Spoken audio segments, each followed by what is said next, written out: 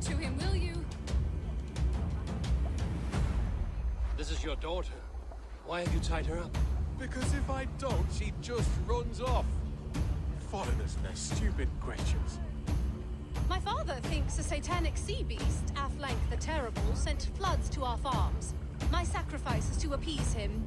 We don't think, we know. Godfrey saw Aflac with his own eyes. So you're going to throw your daughter in the lake and hope the beast accepts your offering? She'll more likely drown. You're making it sound stupid when you say it like that. Look, there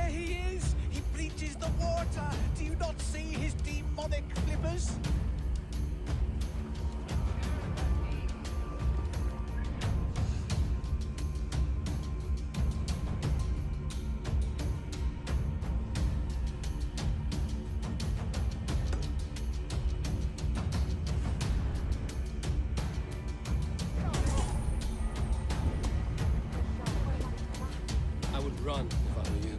Your father's mad. Thank you. But until this demon is proven nothing but driftwood, I still might find myself a watery tart.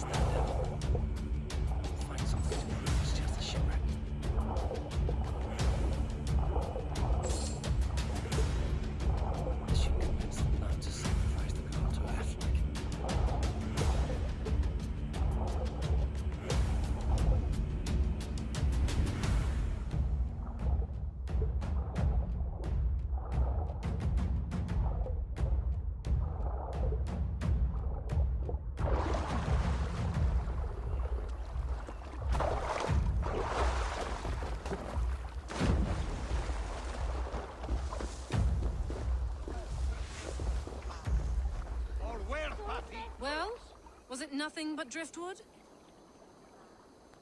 Your sea beast was just a sunken ship.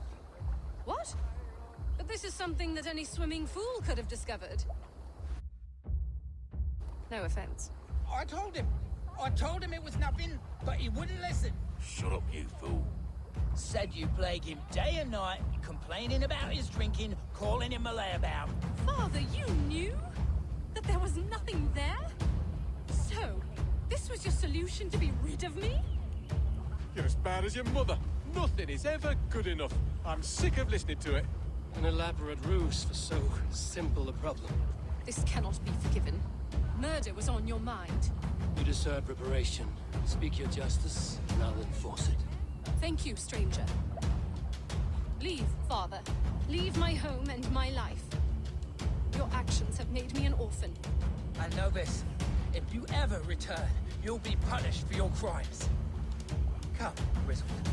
I shall be your rock now. Live well, Gristle. Free from your father's mischief.